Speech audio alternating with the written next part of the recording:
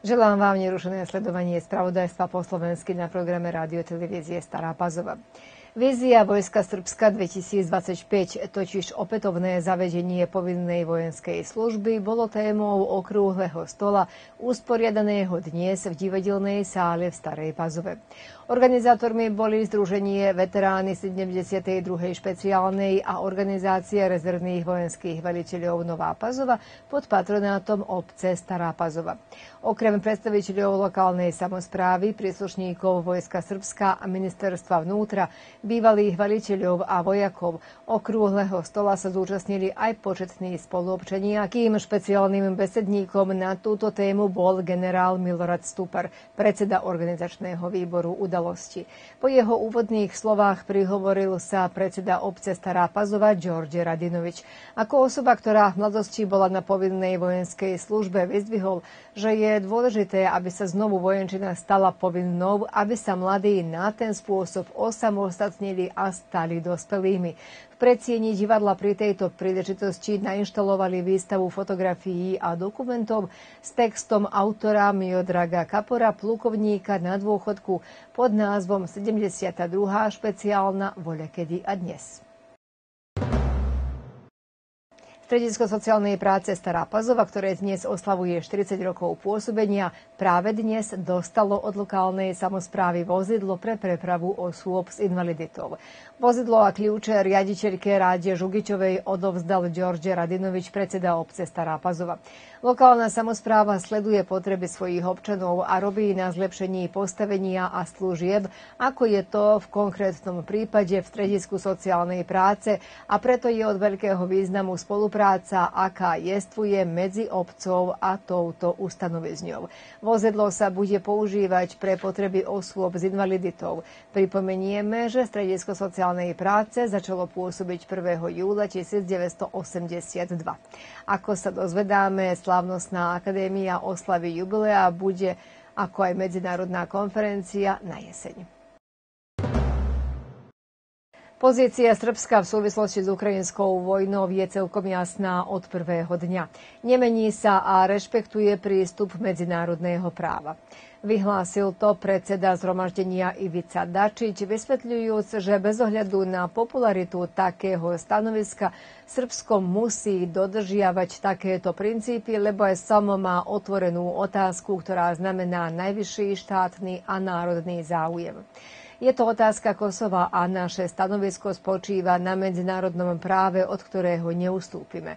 Vysvetlil Ivica Dačić na konferencii venovanej postaveniu Srbska v Euroatlantickom spoločenstve. Predsednička vlády Anna Brnabičová predpovedá, že čoskoro dôjde k zlaďovaniu ceny elektriny najviac pre trovy spôsobené obnoviteľnými zdrojmi energie. Brnabičová prislúbila, že nová cena elektriny nezapríčiní veľkú záťaž životnému štandardu občanov.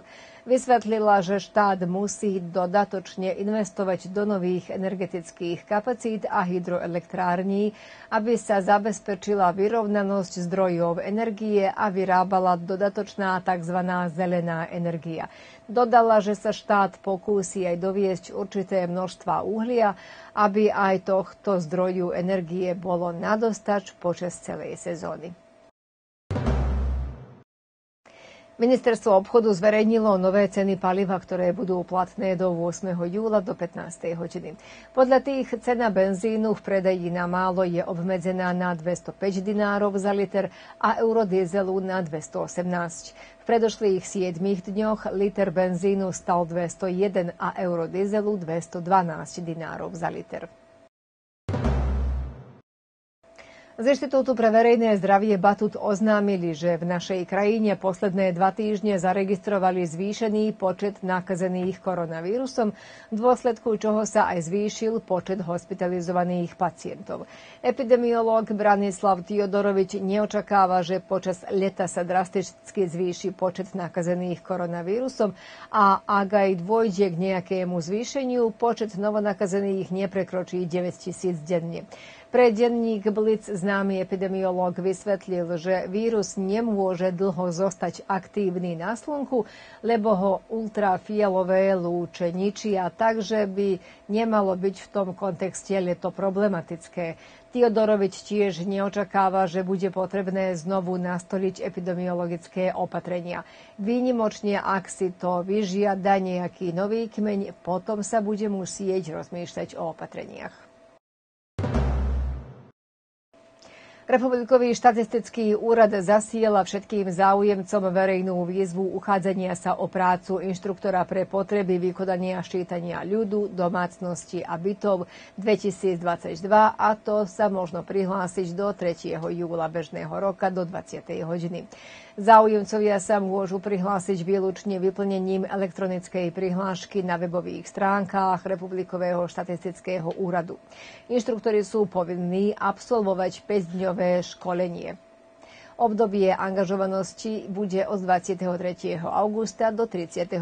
októbra bežného roku. Zajtra sa na plato pred divadelnou sálou Starej Pazove uskutoční tradičné podujatie venované vínu, jedlu a kultúre – Vinné plato. Návštevníci budú môcť ochutnať vína z celého Sriemu a okolia, mladých a ambicióznych vinárov, ale sa zúčastnia aj desiatí vinári z celého regiónu. Vystavené budú aj mliečne výrobky, najmä kozie syr a údeniny, ktoré bude možné ochutnať, ale si jej kúpiť. Organizátori zahlasujú aj výstavu obrazov umelkyne Angely Germanovičovej z Novej Pazovy a koncert skupiny Reflex Acoustic z Rumy. 7. Pazovský festival vína sa otvorí zajtra o 18. hodine a potrvá do 23. Otvorením výstavy obrazov vienzetných maliarov v predškolskej ustanovizne Lienka, potom výstavy poštových známok filatelistov pod názvom Spoznaj svet filatelie a s filateliou Spoznaj svet, ako aj otvorením výstavy detských výtvarných prác Zlatá brána v organizácii knižnice Michala Babinku v Kisáči sa dnes začína 28. festival detského folklóru Zlatá brána. Na zámku Zlatej brány v Kisáči dnes predvedú bábkové predstavenie Konvopka, členov divadielka z Nového mesta nad Váhom zo Slovenska. Zajtra vo večerných hodinách bude následovať koncert detského folklórneho súboru zo Slovenskej republiky z Pliešoviec a nedeľa 3. júla tradične prinesie gala koncert našich detských folklórnych súborov. Koncert sa začne o 16. hodine a zúčastnia sa ho aj malí tanečníci zo Starej Pazovy.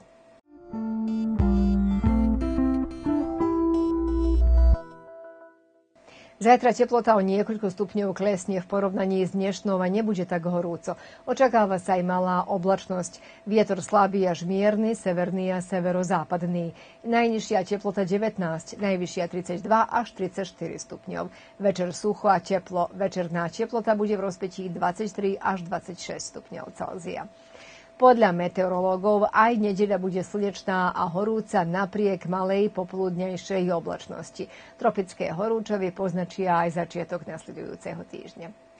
Končíme dnešné správy v prvý júlový deň. Júl je mesiac žatvy a to sa odráža v ľudových pranostikách. Vybrali sme niekoľko na ukážok. V júli prepelica volá žencov do poľa, alebo ženci do poľa, včely z poľa. Dobré je, ak teplý júl je a málo prší. A na dnešok toľko. Ďakujeme vám za pozornosť pri sledovaní nášho programu a prajeme príjemne strávené dni víkendu.